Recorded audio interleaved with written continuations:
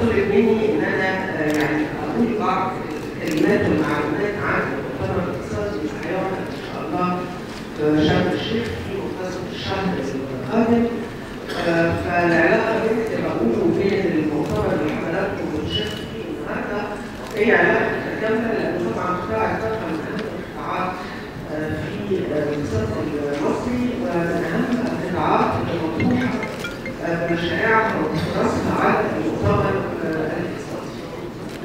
آه، ولذلك يمكن حاجة بس نبذه عن هذا المؤتمر لو تكون بايو بلانتس المحطات المعتمده على الفحم المحطات المعتمده على السولر والمحطات المعتمده على النت ومن دلوقتي وإحنا نراوغ آه، بدات يبقى فيه انتنس قوي جدا واعتقد ان الدكتور شاكر نفسه شغال على مشروعين كبار احتمالات توقعهم ان شاء الله في آه، كبيرة جدا.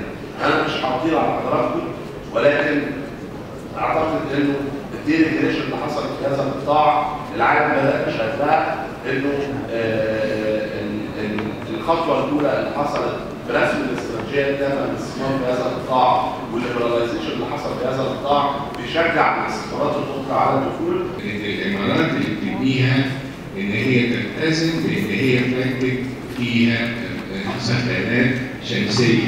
وده يتطلب أيضا إنشاء مصانع لإنتاج السخانات الشمسية وأيضا الزامها بعمل برامج للصيانة بتاعتها الدورية.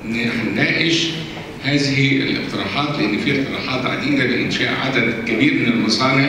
أنا عاوز فعلا إن الساده رجال الأعمال الموجودين يتبنوا بالفعل.